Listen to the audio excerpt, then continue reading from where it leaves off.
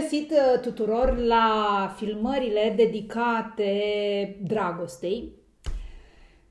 Au început cei 11 ani maestri odată cu anul 2022 uh, și atunci, uh, pentru că vorbim de ani maestri, e bine să avem în arsenalul nostru toate informațiile necesare care ne pot ajuta să evoluăm. De aia sunt ani maestri pentru evoluție, nu?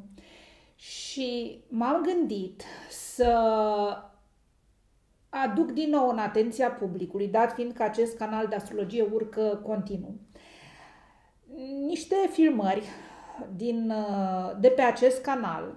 Nu toată lumea știe că, știe că există aceste filmări, iată de ce le-am readus în atenția voastră. Despre dragoste. Pentru că îmi propun ca de acum să dublez cantitatea de muncă, în sensul că va fi horoscopul zilei, dar încerc, pe cât se poate, pe cât este uman posibil, să aduc și filmări de pe canal, să fac alte filmări, astfel încât să aveți seara cu ce să vă delectați 10 minute, 15 minute și să primiți și informații care să vă ajute în viață, pentru că până la urmă scopul este despre a ne ajuta informațional. Și uh, vreau să încep cu dragostea nu vreau să încep cu cum să luptăm, cum să evoluăm, cum să facem nu știu ce hei rupuri extraordinare. Hai să vorbim despre dragoste și uh, te invit să urmărești uh, filmarea despre dragoste și triade. Va fi luat fiecare semn zodiacal în uh, parte și analizat din perspectiva triadelor. Triadă ce înseamnă? Uh, înseamnă grupare de trei semne zodiacale, care împărtășesc aceeași vibrație. Avem triada de foc compusă din berbec, leu, săgetător, avem triada de pământ compusă din taur, fecioară, capricorn, avem triada de apă compusă din rac, scorpion și pești, avem triada de aer compusă din uh, gemeni, balanță și vărsător. Și fiecare din aceste triade are, bineînțeles, un anumit tipar comportamental, are, bineînțeles, o anumită atitudine și o anumită formă de a vedea viața și experimenta viața. Iată de ce acum vom uh, uh, readuce în atenția publicului, a celor care mi urmăriți activitatea de mult timp și a celor care ați venit noi acum pe canal, bine ați venit pe canalul meu, uh, voi readuce în atenție filmările despre compatibilitățile uh, zodilor în funcție de triadă și nicio grijă, mai există, urmează încă o serie în care vom vorbi despre compatibilitățile zodilor. Deci cumula, cumulate veți avea o informație mult, mult mai amplă. Și acestea fiind spuse, te invit să urmărești filmarea despre această triadă și nu uita, nu uita că între timp Alexandra Coman a mai făcut și alte lucruri, printre care a început o colaborare cu bilete.ro și pe bilete.ro dacă intri și uh, dai în câmpurile lor de căutare numele meu sau cuvântul webinar sau agenda anului, uh, vei găsi toate informațiile de care ai nevoie cu produsele pe care le am expuse acolo. Și vă, vă urez delectare plăcută, fie ca informația să ajungă la cei care trebuie. Iar dacă îți place ceea ce se întâmplă aici, nu uita să dai un subscribe sau abonează-te astfel încât vei fi notificat de fiecare dată când apare o nouă filmare. Dacă vrei să fii notificat de fiecare dată, fiecare dată, fiecare dată, nu uita să apeși și butonul uh, și clopoțelul de lângă subscribe iar dacă îți place ce se întâmplă aici și ți-ai dori ca și prietenii tăi să ajungă la informațiile acestea, nu uita să dai un share și întotdeauna comentariile voastre sunt citite cu mult drag și multă atenție și uh, în măsura timpului mai și răspund la ele. E foarte greu să răspunzi la sute de mesaje, dar vă asigur că seara am câte o oră dedicată lecturării mesajelor voastre. Vă mulțumesc! Să ne vedem cu bine și la alte filmări și bucurați-vă de această filmare. Bun găsit tuturor! Astăzi vom vorbi despre compatibilitățile semnului zodiacal al Fecioarei. Fecioara este guvernată de Mercur, planeta comunicării, a negocierii, a mentalului și a comerțului. Este o planetă dinamică, intensă, inteligentă, iar în semnul fecioarei se află în domiciliu nocturn. În semnul gemenilor, Mercur este în domiciliu diurn. Ce înseamnă asta? Când uh, este, deci când ne referim la gemeni, gemenii preiau uh, comportamentul mercurian copilăros, curios, dornic să exploreze, să cunoască pe toată lumea, să vorbească cu toată lumea.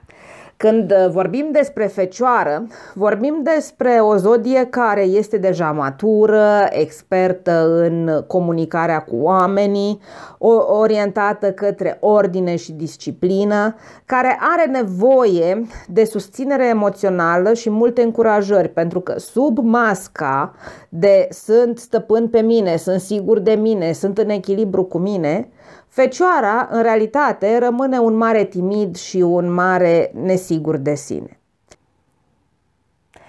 Merg mai departe și vorbesc despre triada semnelor de pământ. Fecioară cu taur, fecioară cu fecioară și fecioară cu capricorn. Și a ajuns fecioara acasă. Și uh, Fecioara cu taurul.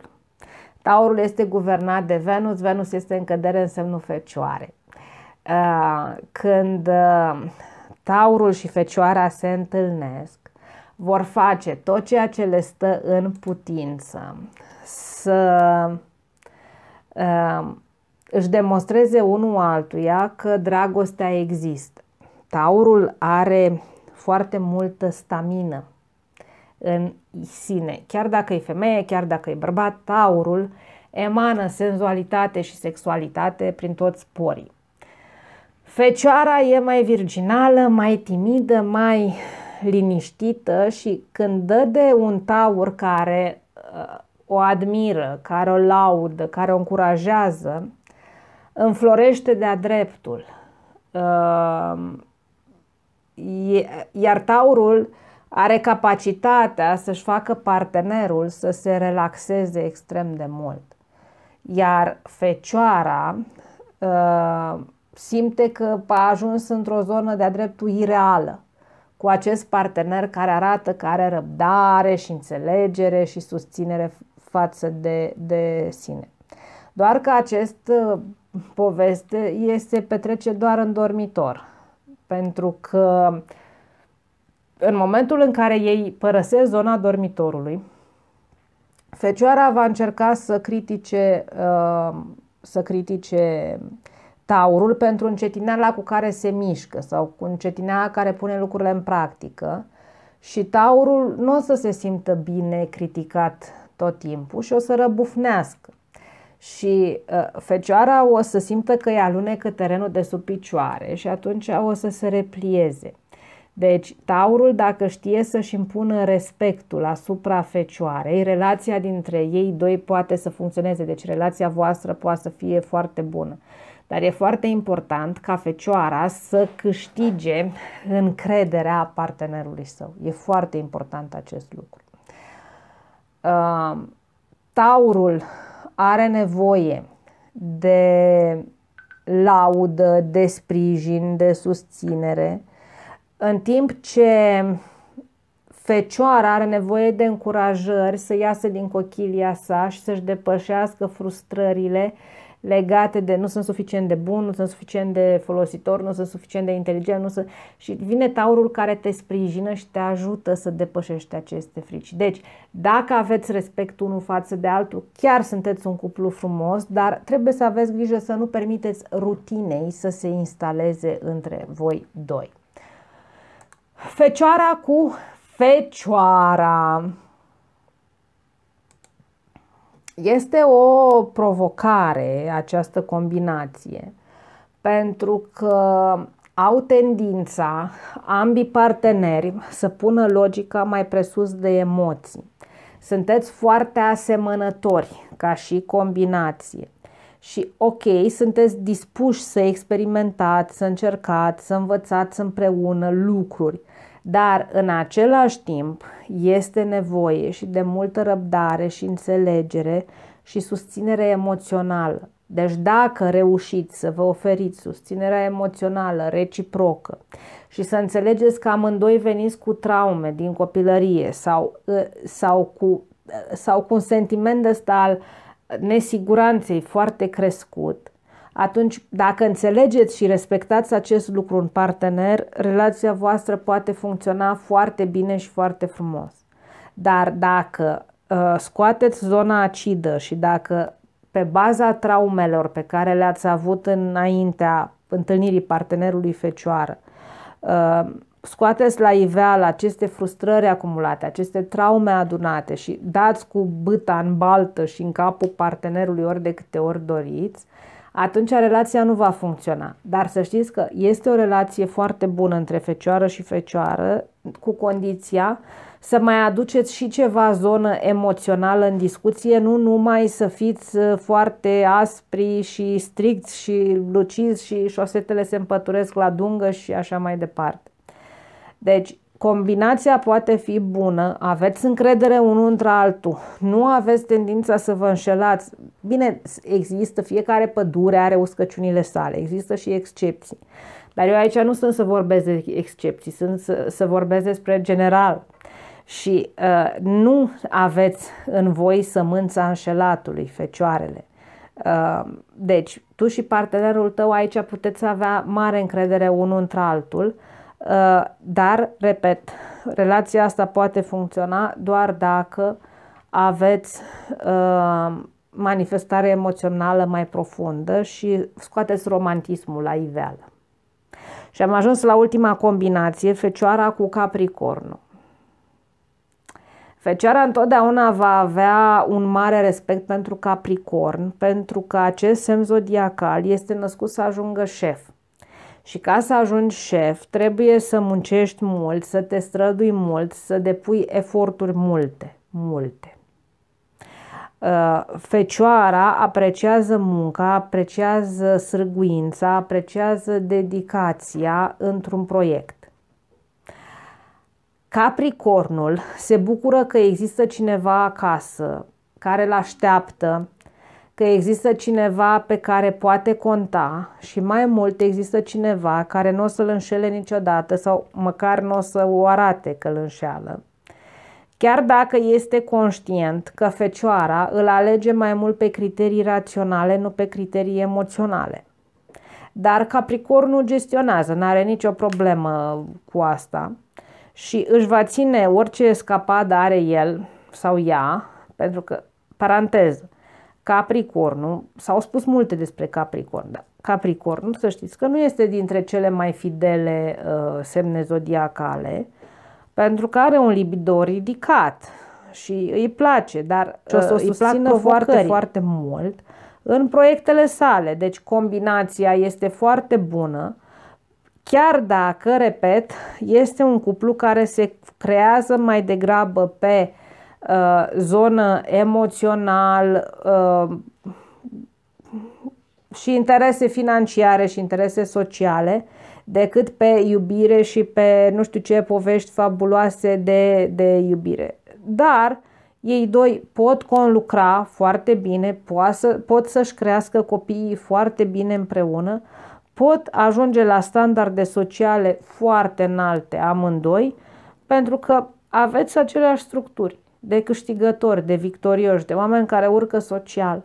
Nu vă împiedicați de cioturi și aveți amândoi o capacitate de muncă și Fecioara și Capricornul foarte mare.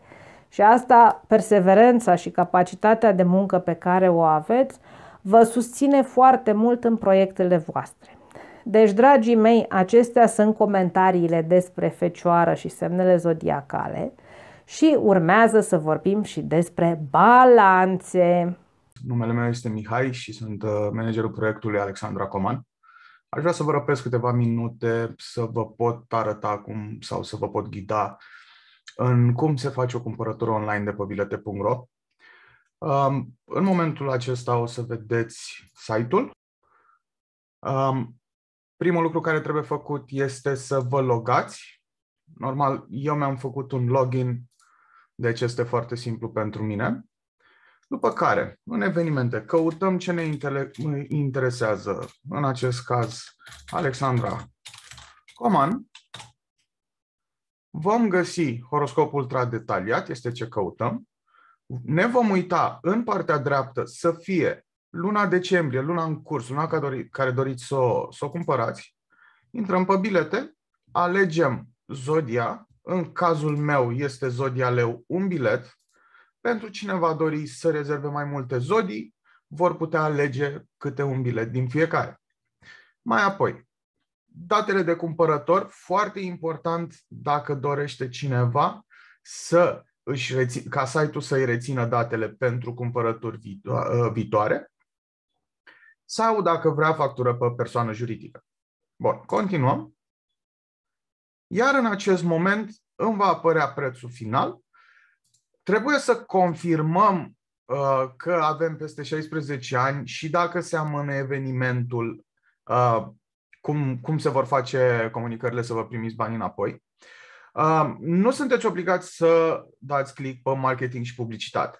Da? Deci, uh, datele dumneavoastră personale nu vor fi folosite în niciun fel dacă nu, dacă nu dați click pe asta. Plasează comanda. În secunda aceasta vom fi redirecționați către uh, site-ul de plătit, unde va trebui să ne băgăm cardul și așa mai departe. Accepti de termenii și condițiile, plătește. Am primit două notificări. Foarte bine, mersi. După cum observați, comanda numărul 3410 și așa mai departe a fost uh, plasată cu succes. În momentul ăsta, dacă eu intru la mine în mail, va trebui să am deja în inbox bilete.ro. Aici intrăm pe acest mail și ne uităm, click pe fiecare dintre, uh, dintre linkuri pentru a vă putea printa biletele virtuale. Vă dați seama, nu aveți nimic de printat, dar dacă mergeți pe link, iar apoi leu decembrie în cazul meu, veți putea avea acces la, uh, la horoscopul pe care l-ați plătit. Cam atât este cu, cu bilete.ro. Dacă veți avea întrebări sau dacă, um, nu știu, aveți nelămuriri, puteți să ne scrieți în comentarii. Eu vă mulțumesc foarte mult pentru atenție și să ne auzim numai de bine. La revedere!